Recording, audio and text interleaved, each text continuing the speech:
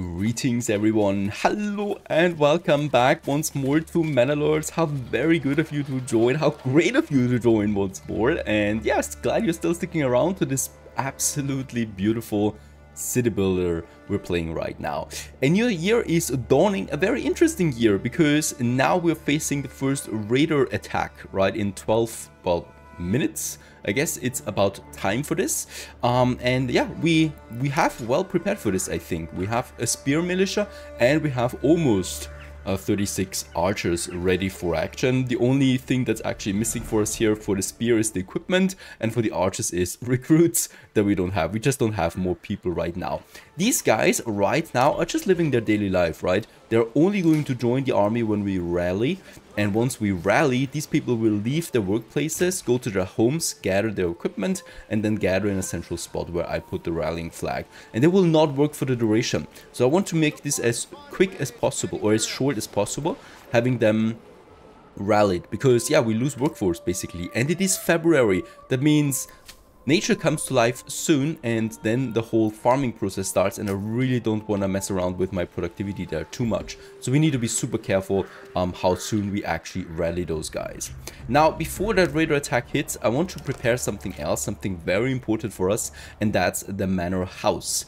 And in this case the manor house is important for us because it provides taxation, policies, that's a new tab that we have then up here, and also provides me with mercenary groups if I want to. The only thing is, where should we place it?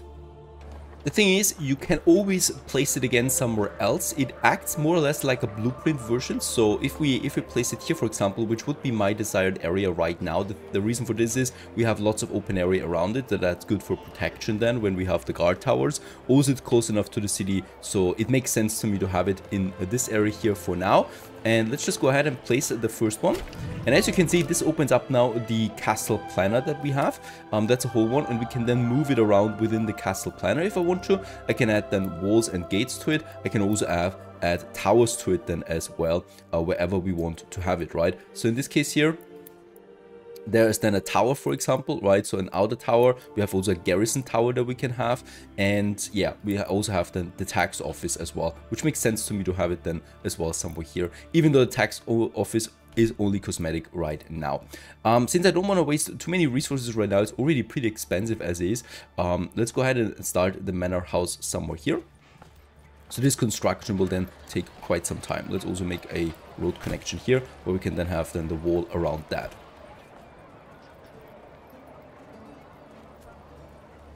Alright, of course, the more pressing issue right now will be then the raiders. Also high population growth. There is more burgages coming along, so my goal is then to have more burgages than here as well, right? So we need to think about more districts, as of course, the bigger my town gets, the higher the density in the center should get, and the lower density we have than outside. So this would be then the, the general planning, because these buildings will look fantastic when we upgrade them. I would also like to add two more here, just beside the church. In the back. Then we have the forager hut here. And the next plot has been finished too. Five more, so I think at this point it's safe to rally. Let's go ahead and do this. The spear militia. Wait a second. Now let's wait for them to actually appear on the map before we rally. Doesn't take that long to rally anyway. haven't really started here yet, right? Hmm with the fields. I mean, it's still only February, I guess. In, uh, in until March, then spring, then we have it. Yeah, and as you can see, it's actually coming along really quickly. We have four families right now that work solely on construction.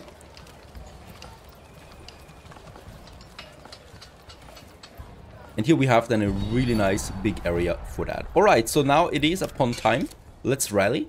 And let's actually rally them somewhere over here and also my archers. And now it takes a bit of time.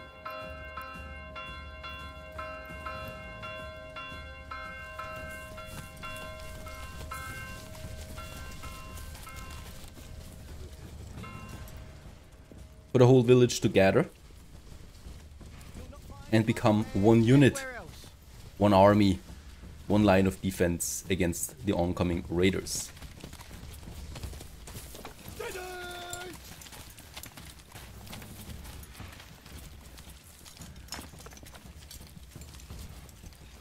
Alright. At this point, everybody has gathered. We have the spear units. And we have the archers. And let's just check it out where those raiders are. They probably come from somewhere over here. It's still hard to tell sometimes. You don't see them until the last second as far as I understand, right? They're hiding in the forest most of the time. There they are. There's the outlaws. But this is just the Baron, again, fighting against the outlaws himself. So this is not the raider attack. There's some fighting still going on over here then. Hmm, where are they coming from?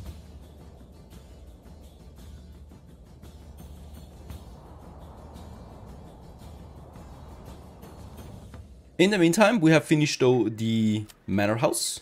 There it is. It's a small manor for now, right? And in this case here, this is now where we finally have then also taxation enabled. And for taxation, we have two areas right now for our at our disposal. Uh, let's just also quickly check out the the bandits because they they will be coming. It's just a matter of time. And land tax we have now and the tithe. Now the tithe is something where we can use food for taxation. Uh, this is not really good. We would get influence out of that, which is very powerful, of course, to claim new territories. However, uh, we don't have that much food right now. so in this case here, let's go ahead and actually enable land taxation. This is going to lower my approval rating. If I increase it by 10%, we lose 7 approval rating, which I think we can actually afford. And this will then directly contribute to my treasury that we can also use to hire mercenaries, retinue, um, diplomacy, and also settling in new regions. Very important that we increase that. So this is different than my regional wealth that we have. A lot of things happen at the same time there right now, unfortunately, which makes it a bit chaotic. I'm still also waiting for the for the attack, right? So far, nothing in sight.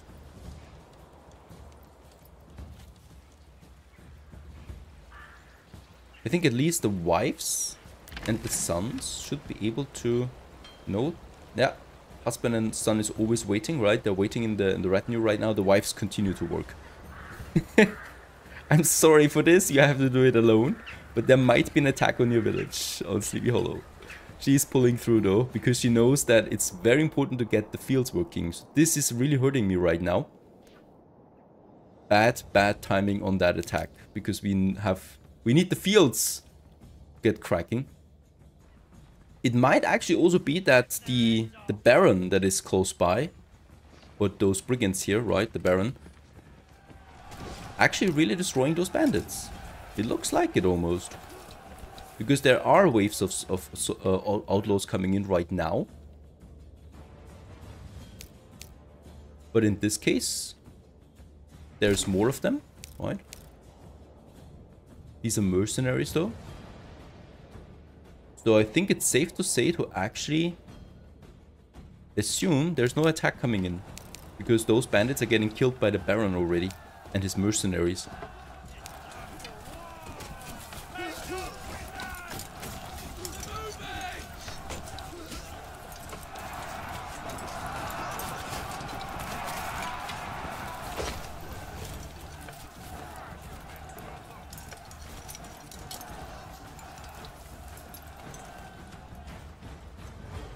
Alright. That's actually good for us, right? I mean, it's a bit confusing, but I think we can put everybody back to work again, which would be my goal to here. So let's disband those units once more. There they are, right? And they are now going back to their original work. And let's just hope that there is no big attack coming in. Otherwise, we have to rally again at the last second.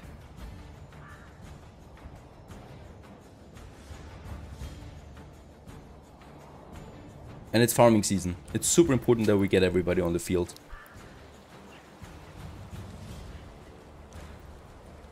We've also reached over 100 people, right? So more people actually moved in in the meantime. And we're growing rather quickly right now to 110. Uh, at the moment though, we have then already... No, we have enough food. Uh, we need to make sure that we're always having the right menu activated.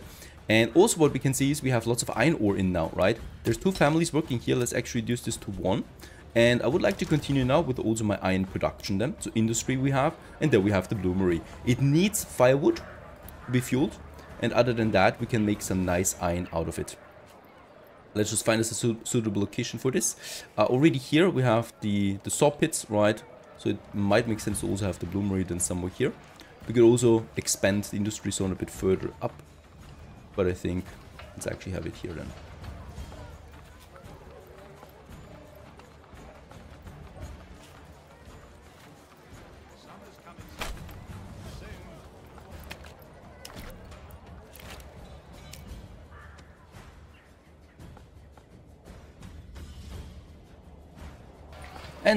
The next construction starts. I can't even enjoy this right now because I'm always looking over my shoulder.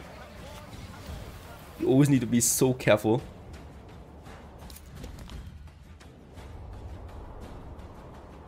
Now though, I don't see also any soldiers here. There is now something, right? But there's the Baron mercenaries again.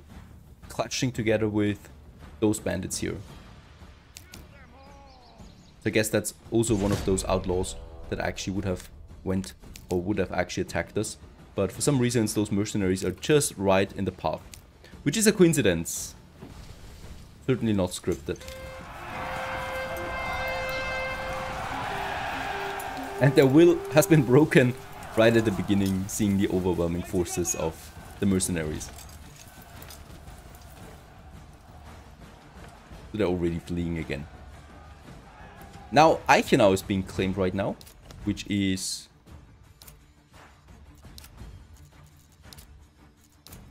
over here. So it's pretty far away actually from us. So I think there's no reason in challenging him for this. And while we're on the map, it's also really nice to see those details, right? How my village is looking up here now. I love how the game is actually also displaying your village and also all your roads on this beautiful map. Fantastic work. Alright, next up in the manor house, uh, let's just quickly check it out. I would like to increase my taxes further to 20%. The uh, approval rating continues to go up. And we'll have hopefully some nice new things this year to provide to my to my village, obviously. Uh, yeah, how's it looking there on the battlefields? Um, I could actually, as I said, challenge him to his claim, but I'm not doing this because we're too weak at the moment for this yet. We need to have some proper defenses first, and this is where the manor house is coming in then as well. Also, we need to have just a few more soldiers, and hiring mercenaries would be ideal. However, as you can see, they cost money, right, from the treasury, and we don't have no, uh, we don't have any money yet at in the treasury. So in this case, let's just wait it out, right? This claim is not important to us anyway, since it's on the other side of the map, so I'm, I'm not too worried about that. Once it's in, in a neighboring uh, territory, we're however going to war there for sure. Um, but for this I need to still prepare a bit more. Now, spring season it is, the berries are coming in again. Um, yeah, bandit camp was also sighted somewhere close by, it seems. Is this really close by? It's not that close by, it's fine, right? To keep it there right now.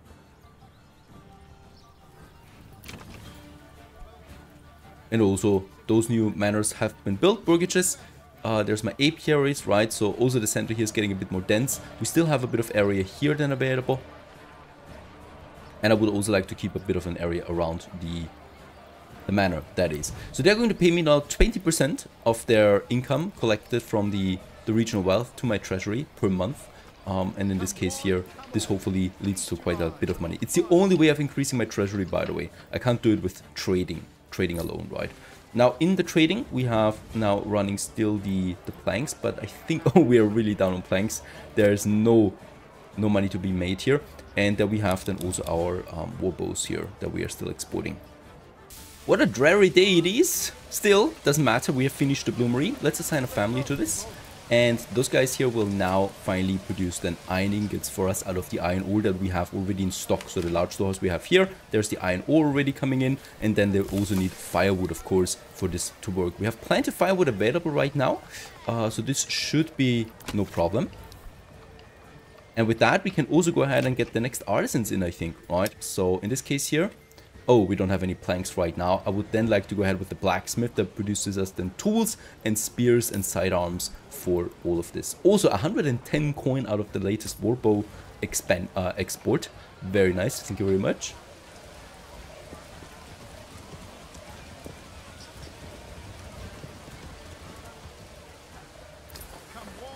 Do I still have warbows in left in stock now? 35, right? So that's my limit. Finally, the planks are in again. Let's build the blacksmith. And beside it, we might then also work on the armor's workshop. For this, we need, however, a point in the development branch. And with that, we can get mail armor and plate armor out. So really nice, um, really nice workers there. Uh, joiner's workshop is important actually, because we need the shields too, right? So with this, we have then the ability to build us another spear militia unit um, as well, which are just very powerful overall. So that's two very important constructions ongoing.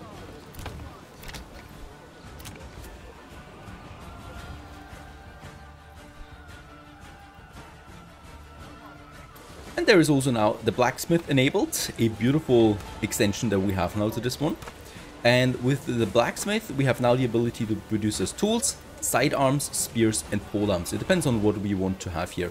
Um, now, it's important, let's just check it out there. Mm, for the, I think for the sidearm that we have, this would be then the militia footman, I guess right? We can disband this again. We also have the pole arm militia and the archer militia. So the militia footmen will then require those um, heavy weapons that we have, the sidearms there as well, because these are the axes. I don't need this right now, I think, right? So I'm going ahead with, with, with tools for the moment. Because tools we can use for our own productivity increase. Also the joiner, there they are, right? Producing now shields for us. We could also have wooden parts for them that they can produce or also large shields. Now the spearmen that we have there, they require actually large shields, right?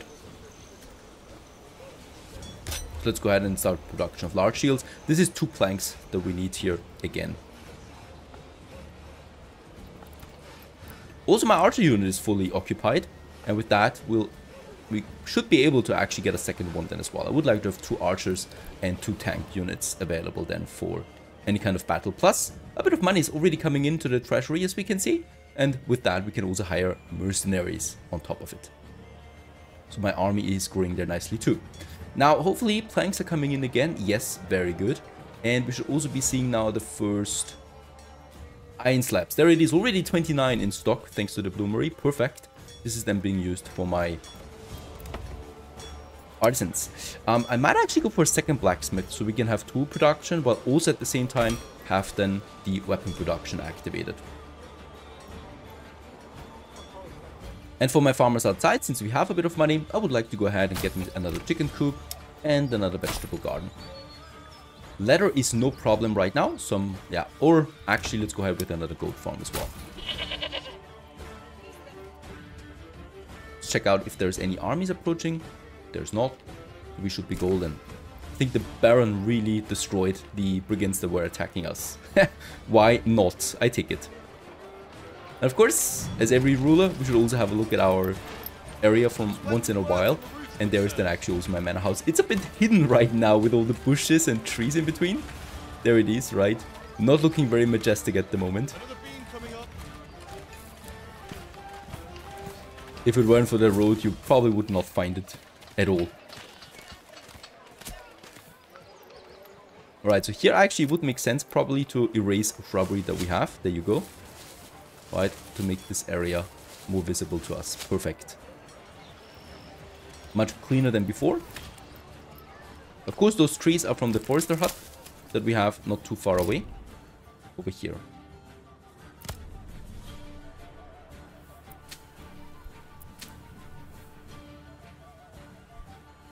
The fields at this point are growing, by the way. And I'm looking forward to my first barley harvest, especially. Food, not so much, but barley is, because with that we can make some ale. Now the next blacksmith is finished, and actually let's produce some polearms right now. This would be another army type that we have, and that's the polearm units. I think they're for heavy damage, right? They have no shields, however, so we do need to still have a unit with shields protecting them, and they will do then the majority of damage. Together with the archers. Very good. At this point, the yield is growing now on the fields finally. Though, as we can see, for barley, for example, we don't have a high fertility in this area. Wheat, however, should be fine. And the next mining pit is exhausted.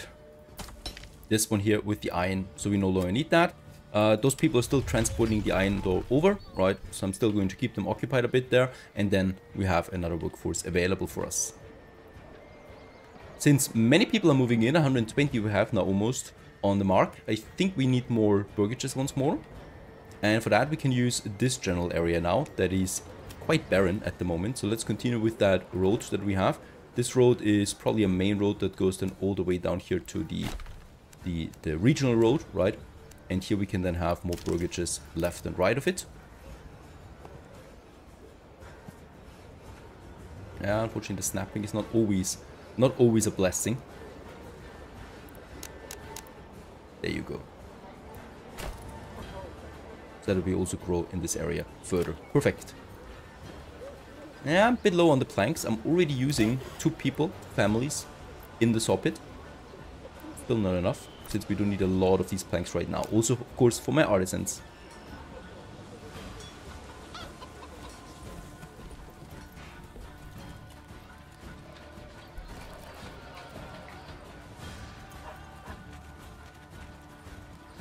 Quite busy on the streets right now.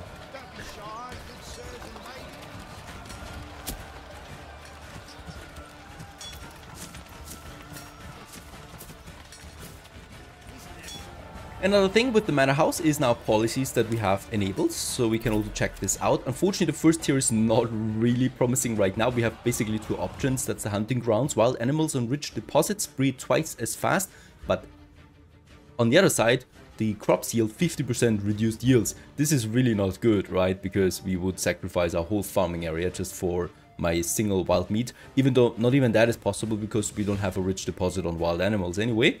The other one is citizen skip every fifth meal, reduces the food consumption, however also decreases approval. Now the thing is, we don't have a food problem, so I don't see why I should sacrifice uh, approval for this, right? People can eat normally. If, however, my food gets too low, it might be a nice emergency policy that we can activate to reduce my food consumption overall. Now, now, now, now, now, now. I think the next constructions are coming along, yep, splendidly. So there we have it for more people to move in. And how's my harvest looking? It's June at this point. Yeah, it's going to be a nice barley harvest for sure. Also, the wheat is now growing. We, however, only have three fields, so I might also want to expand on this here um, in the future or pretty soon actually. We should be doing this.